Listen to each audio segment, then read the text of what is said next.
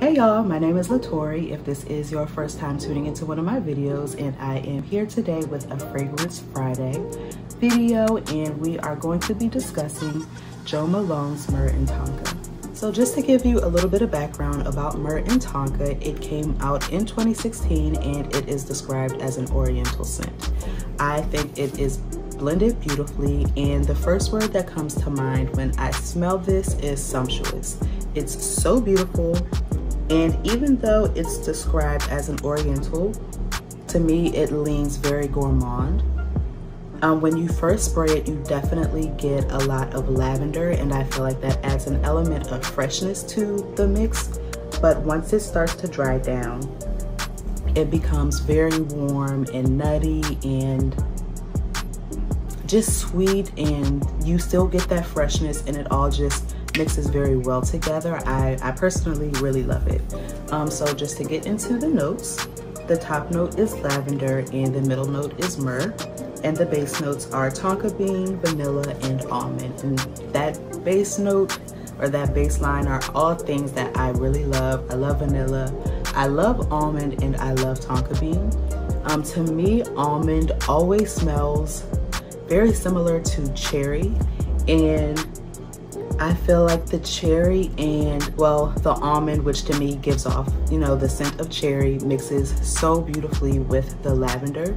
And that is what is adding that element of freshness to the more spicy uh, woody notes, which makes this, like I said, perfect for a cooler evening. This is something that my mom wears all the time and each time that she wears it, I always ask her, you know, what are you wearing?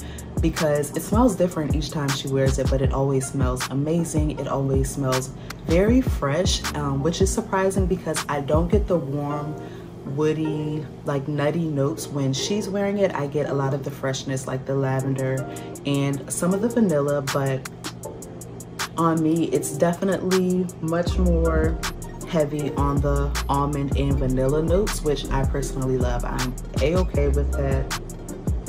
It's just so beautifully done.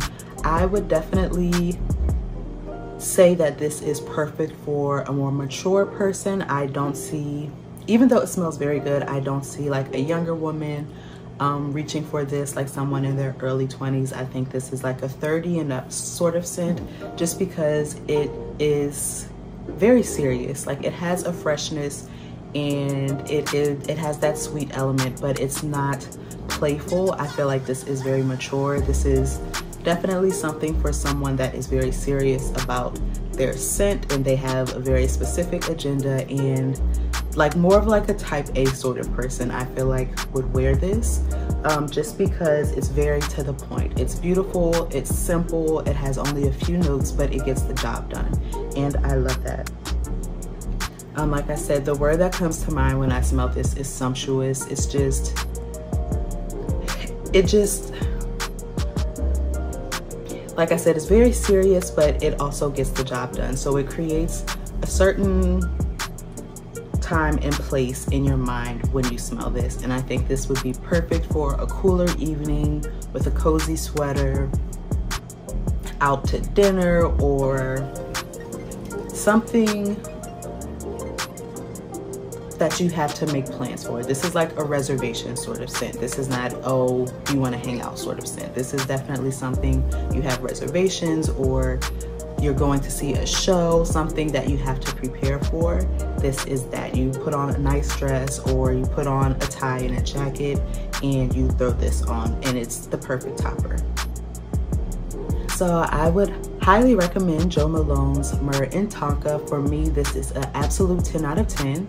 I would say this is unlike a lot of the other Jo Malone scents that I have experienced because this one, the lasting power is much more um, than the average Jo Malone scent. I know a lot of people um, aren't so much fans of Jo Malone for fragrance. They prefer the candles because they say that the, the body fragrances or the the perfume is the word that I'm looking for.